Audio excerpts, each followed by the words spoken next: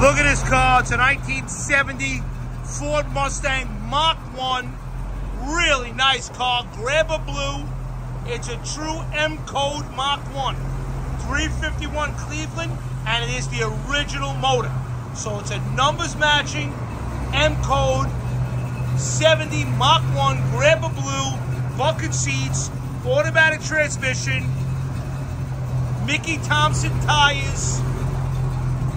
Magnum 500 rims. Just a beautiful, got the rear spoiler. Listen to that 351. She sounds amazing. Beautiful car.